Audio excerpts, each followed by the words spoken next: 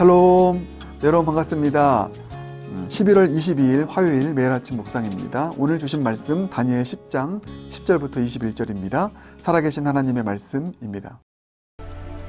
한 손이 있어 나를 어루만지기로 내가 떨었더니 그가 내 무릎과 손바닥이 땅에 닿게 일으키고 내게 이르되 큰 은총을 받은 사람 다니엘아 내가 내게 이르는 말을 깨닫고 일어서라 내가 내게 보내심을 받았느니라. 그가 내게 이 말을 한 후에 내가 떨며 일어서니 그가 내게 이르되 다니엘아 두려워하지 말라. 내가 깨달으려 하여 내 하나님 앞에 스스로 겸비하게 하기로 결심하던 첫날부터 내 말이 응답받았으므로 내가 내 말로 말미암아 왔느니라. 그런데 바사 왕국의 군주가 21일 동안 나를 막았으므로 내가 거기 바사 왕국의 왕들과 함께 머물러 있더니 가장 높은 군주 중 하나인 미가엘이 와서 나를 도와주므로 이제 내가 마지막 날에 내 백성이 당할 일을 내게 깨닫게 하러 왔노라. 이는 이 환상이 오랜 후의 일임이라 그가 이런 말로 내게 이를 때에 내가 곧 얼굴을 땅에 향하고 말문이 막혔더니 인자와 같은 이가 있어 내 입술을 만진지라. 내가 곧 입을 열어 내 앞에 서 있는 자에게 말하여 이르되 내 주여 이 환상으로 말미암아 근심이 내게 더함으로 내가 힘이 없어졌나이다. 내 몸에 힘이 없어졌고 호흡이 남지 아니하였사오니 내 주의 이 종이 어찌 능히 내 주와 더불어 말씀할 수 있으리까 하니? 또 사람의 모양 같은 것 하나가 나를 만지며 나를 강건하게 하여 이르되 큰 은총을 받은 사람이여 두려워하지 말라. 평안하라. 강건하라. 강건하라. 그가 이같이 내게 말하매 내가 곧 힘이 나서 이르되 내 주께서 나를 강건하게 하셨사오니 말씀하옵소서. 그가 이르되 내가 어찌하여 내게 왔는지 내가 아느냐? 이제 내가 돌아가서 바사 군주와 싸우려니와 내가 나간 후에는 헬라의 군주가 이를 것이라.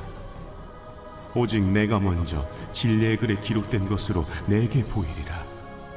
나를 도와서 그들을 대항할 자는 너희의 군주 미가일 뿐이니라.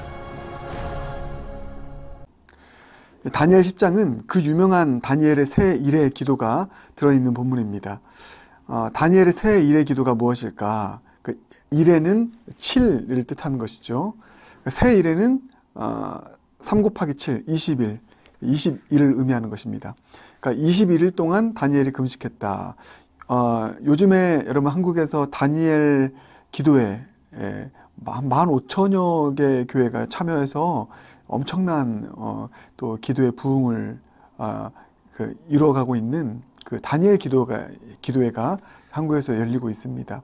그 다니엘 기도회가 여기에서 연유한 거예요. 지금 한국에서 일어나는 다니엘 기도회 21일 동안 예, 그 기도회를 어, 초교파적으로 이렇게 열거든요. 예, 많은 응답이 있고 역사가 있습니다. 바로 이게 다니엘 10장에 나와 있는 다니엘의 새 일의 기도를 본따서 예, 아, 그것을 이제 모델로 해서 기도회가 만들어진 것이죠. 자, 10장 아, 2절을 보면 이렇게 나와 있습니다. 그때 나 다니엘이 새 일의 동안을 슬퍼하며 자, 새 일에 21일이죠. 어떻게 했습니까? 새 일해가 차기까지 좋은 떡을 먹지 아니하며 고기와 포도주를 입에 대지 아니하며 또 기름을 바르지 아니하니라 나와 있습니다. 예, 먹지 않았다. 예, 금식하며 기도했다. 이렇게. 그래서 다니엘 기도 21일 동안의 그 기도는 금식하며 전심으로 주님의 은혜를 구하는 그 기도의 기간을 의미하는 것입니다. 오늘 이 부분을 좀 우리가 아, 묵상했으면 좋겠습니다. 우리에게도 이 다니엘의 새 일해 동안의 기도가 아, 필요한 것이죠. 저는 이런 소망을 해봅니다. 아, 이제 2022년을 마무리 지으면서 각자 모두에게 각자 나름대로의 예, 어, 다니엘 21일 동안의 그 기도, 어, 금식하며 간절하게 주님께 호소하며 기도하며 나아갈 수 있는 이 기도의 어, 바람들이 에, 저와 여러분 또 우리 교회 차원에서 일어날 수 있길 소망해 봅니다. 다니엘이 아, 이렇게 새 일해 동안 먹지도 않고 금식하며 어, 절실하게 기도해야 했던 이유가 무엇일까? 아, 크게 여러분 두 가지 이유입니다. 먼저는 첫 번째, 아, 당시 예루살렘의 상황 때문에 아, 기도를 했고요. 두 번째는 아, 앞으로 이후에 있을 큰 전쟁에 관한 환상을 그가 보았기 때문에 아, 이건 기도하지 않으면 안 된다. 이렇게 해서 기도한 것입니다. 두 가지 이유, 예루살렘의 상황, 앞으로 일어날 큰 전쟁. 그게 어제 읽은 본문 10장 아, 1절에 나와 있습니다. 바레스 왕 고레스 아, 제 3년에 한 일이 벨드사살이라 이름한 다니엘에게 나타났는데 그 일이 참되니 곧 큰 전쟁에 관한 것이라 이렇게 나와 있습니다. 네.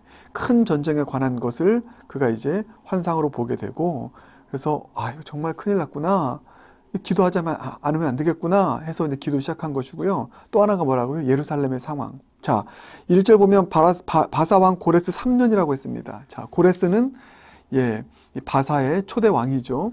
자, 그런데 아, 이 고레스 원년에 일어난 일이 무엇입니까? 예루살렘으로 포로를 귀환시켰습니다. 70년에 바벨론 포로가 끝나고 고레스 왕이 이제 포로로 귀환시켜요. 그런데 어, 그 포로로 귀환한 사람들이 그렇게 많지 않았습니다. 예, 마음껏 가도 된다.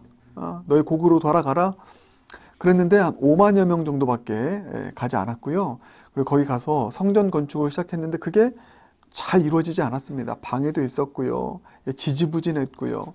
뭔가 이제 아, 회복될 것 꿈꾸면서 부흥될 것 꿈꾸면서 나갔는데 예루살렘의 상황이 녹록지 않았고, 예. 그리고 또 앞으로 더 큰 전쟁들이 일어날 것들을 보게 되니 아 이러면 안 되겠다. 아, 주님 앞에 금식하고 엎드려 기도하는 다니엘의 새 일의 기도가 그래서 시작이 된 겁니다. 여러분 먼저 이 사실을 꼭 마음 가운데 품길 바랍니다. 분명 제가 누차 말씀드렸지만 하나님 나라의 비전은 그 결국이 회복과 부흥이라고 했습니다. 그런데 그 회복과 부흥으로 가기까지 수많은 어려움들이 있을 거예요. 그건 확실합니다. 예, 회복과 부흥을 가로막는 예, 그런 영적인 전쟁도 있을 것이고요. 사단의 방해도 있을 것이고요. 예, 우리의 마음을 흔들어 놓는 또 공동체를 막 갈라 놓는 이런 일들이 있을 것이고요. 그게 예루살렘 안에서도 일어났었고 또 외부에서도 막 전쟁들이 터져 나가는 일들로 다니엘에게 보여진 것입니다. 여러분 그렇습니다. 회복과 부흥은 반드시 일어날 줄 믿습니다. 우리 그 하나님의 비전을 품읍시다. 그러나 각오해야 됩니다. 각오해야 돼요. 영적 전쟁이 치열할 것입니다. 어, 여러 가지 많은 어려움과 장애물들 있을 것입니다. 방해 공작 당연히 있을 것이죠. 이제 포로 귀환 후에 얼마나 많은 방해 공작이 있는지 모릅니다. 그것을 회복 시리즈 통해서 뭐 에스라와 느헤미야 뭐 이런 어, 어, 성경을 통해서 살펴볼 텐데 많은 방해가 있을 거예요.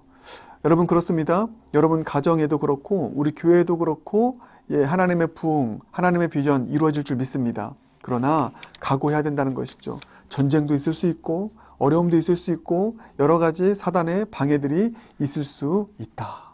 네. 혹시 여러분 이런 상황 가운데 있는 분들이 있습니까? 예루살렘, 나의 예루살렘의 상황은 녹록치가 않아요.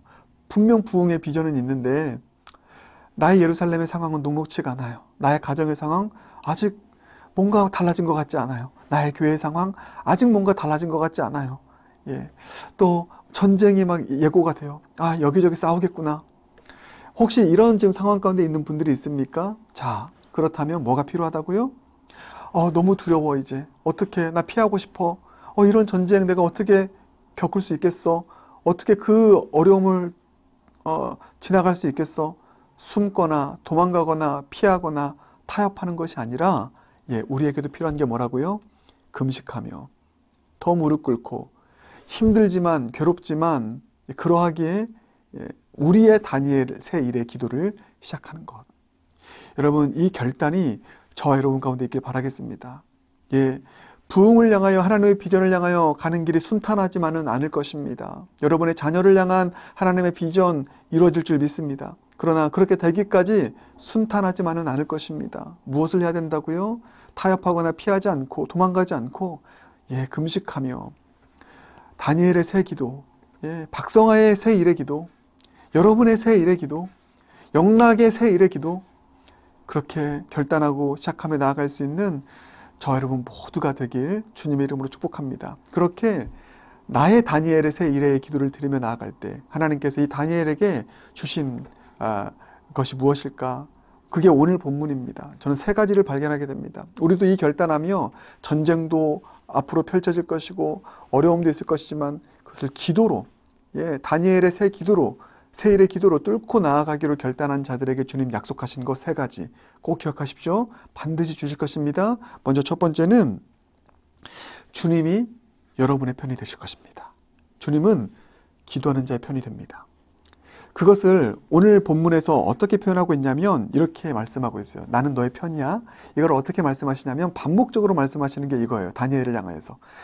큰 은총을 받은 사람 다니엘아. 아멘. 11절 보면 내게 이르되 큰 은총을 받은 사람 이렇게 나와 있죠. 자, 그리고 19절도 나와 있습니다. 자, 이르되 큰 은총을 받은 사람이여 두려워하지 말라 평안하라. 예. 전쟁 일어나지만 걱정하지 마. 내가 지켜줄 거야. 승리할 거야. 어려움 있을 수 있겠지만 아직은 예루살렘이 변화되는 것 같지 않겠지만 두려워하지 마. 평안할지어다. 큰 은총을 입은 사람 다니엘아 이렇게 말씀하고 있는 것입니다. 주님이 편이 되어 주신다는 것이죠. 여러분 하나님께서 우리의 편이 되어 주신다는 것이 무엇으로 드러날까요? 은혜를 쏟아 부어 주시는 거예요. 너는 내가 나는 너의 편이야.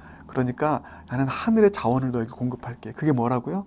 하늘의 문을 활짝 여시고 은혜를 쏟아 부어 주시는 것입니다. 그 은혜 쏟아 부음 받은 자는 어떤 전쟁 이겨냅니다. 할렐루야. 예, 어떤 어려움 이겨냅니다. 하나님은 여러분의 편이십니다. 기도하는 자의 편이십니다. 큰 은총을 받은 사람 박성하야. 큰 은총을 받은 사람들 영락교회요. 말씀하실 줄 믿습니다. 그래서 하늘 문 여시고 은총 쏟아 부어 주실 것이니 여러분 우리는 기도하면 됩니다. 기도하면 됩니다. 입을 크게 여십시오. 은총을 부어 주실 것입니다. 하늘의 은총으로 함께 하실 줄 믿습니다. 그래서 나의 편이 되어 주신다. 첫 번째 약속이고요. 두 번째 약속. 아, 반드시 응답하신다는 것입니다. 그래서 오늘 본문 보면 이런 표현이 있습니다. 아, 자, 12절. 그가 내게 이르되 다니엘아 두려워하지 말라. 내가 깨달으려 하여 내 하나님 앞에 스스로 겸비하게 하기로 결심하던 첫날부터 이게 뭐예요? 다니엘의 세일의 기도의 첫날, 1일차. 그 첫날부터 어떤 일이 있었다고요? 내 말이 응답을 받았으므로, 예, 응답 받았대요. 여러분, 기도하기로 결단했습니까? 기도 시작했습니까? 그날로 하나님 응답하셨습니다. 할렐루야. 다만 13절 이하를 보면 그 응답이 실제로 다니엘에게 오기까지는 21일이 걸린 거예요. 네. 어, 예, 13절. 그런데 바사 왕국의 군주가 21일 동안 나를 막았으므로라고 나와 있잖아요. 예. 그래서 여기서 나와 있는 바사 왕국의 군주 이것은 아 그냥 제가 오늘 묵상이니까 길지 않게 하겠습니다. 그, 그 바사 왕국을 지킨 악한 영적인 세력을 의미하는 것입니다. 그러니까 천상의 영적인 전쟁이 있었던 거예요. 예. 다니엘을 돕는 이스라엘을 돕는 가브리엘과 미가엘 천상의 세, 천사 천사의 세력들이 있었고, 근데 바사왕 악한 아, 그 영적인 또 세력들이 있었는데 영적인 전쟁이 있었던 것입니다. 그 얘기를 하고 있는 거예요. 근데 결국은 미가엘의 도움으로 21일 만에 와서 응답을 해주신 것입니다. 그래서 다니엘의 기도가 새 이래로 끝났어요. 그것을 응답은 첫날 시작됐는데 그것을 다니엘이 확인하기까지가 21일이 걸린 것입니다. 여러분 그러면 어, 우리의 새 일의 기도는 주님께서 그 응답이 우리 우리 가운데 오기까지 기도하면 되는 거예요. 네, 그게 우리의 새 일의 기도인 것입니다. 그러나 여러분 이 컨셉을 꼭 기억하십시오. 우리가 기도하기로 결단한 그 날부터 주님은 응답하셨다. 네, 응답하셨다. 근데 조금 그 응답이 나에게 더디게 어, 전해져 오고 늦게 온다 해도 걱정하지 마십시오. 이미 응답된 것입니다. 다만 어떤 하나님의 어떤 섭리와 영적 전쟁의 어떤 그런 상황 가운데서 그것이 우리에게 어, 때로는 늦게 올 수도 있는 것 뿐이지 응답은 이미 하셨다.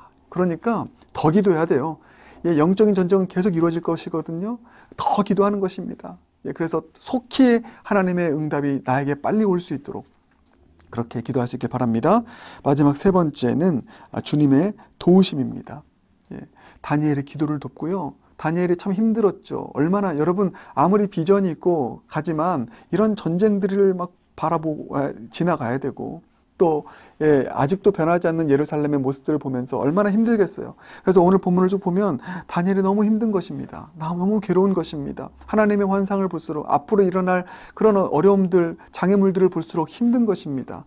그러니까 힘듦을 무릅쓰고 기도를 해야 되는데 주님께서 그 기도를 도우시는 거예요. 그게 10절 이렇게 나와 있습니다. 한 손이 있어 나를 어루만지기로 내가 떨었더니 뭐라고 나와 있습니까? 그가 내 무릎과 손바닥이 땅에 닿게 일으키고 예, 주님이 일으키십니다. 힘내 기도할 수 있어.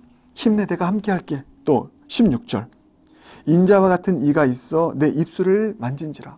예, 우리 입술을 어루만지세요. 그래서 주님의 아, 소망을 선포하고 주님의 뜻을 선포하도록 주님께서 우리 입술을 어루만져 주십니다. 그리고 또 18절 보면 이렇게 나와 있죠. 또 사람의 모양 같은 것 하나가 나를 만지며 나를 강건하게 하여 예, 어루만져 주시는 은혜. 기도하는 자에게 주님은 어루만져 주십니다. 그래서 오늘 큐티의 제목이 이거잖아요. 일어서라 강건하라. 주님께서 계속 성령께서 함께 기도해 주시고 말할 수 없는 탄식으로 기도해 주셔서 우리를 위로하시고 이렇게 세워 주실 것입니다. 아무도 없는 것 같습니까? 아니요. 주님이 어루만져 주십니다. 성령께서 함께 하십니다. 때로는 내가 지쳐서 기도하지 못할 때 성령께서 말할 수 없는 탄식으로 기도해 주셔서 그 기도를 완성시켜 주실 것입니다. 이 세 가지 약속이 있습니다. 어려운 상황 가운데 예, 다니엘처럼 세일의 기도를 드리며 나아가기로 결단하는 자들 가운데 주신 이 세 가지 약속 주님 우리의 편이시다. 큰 은총을 받은 자여 또 반드시 응답하셨다. 또 주님의 도우심 어루만지시고 일으켜 주시는 주님의 도우심 힘입어 예, 우리의 다니엘의 세일의 기도를 끝까지 완수하여 주님의 부흥, 주님의 비전 성취하는 것을 마침내 반드시 보고야 마는 저와 여러분 영락교 모두가 되길 주님의 이름으로 축복합니다. 기도하겠습니다.